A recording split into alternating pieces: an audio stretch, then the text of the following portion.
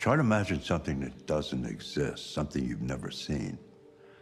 Now concentrate on how it makes you feel and let your hand drift across the canvas.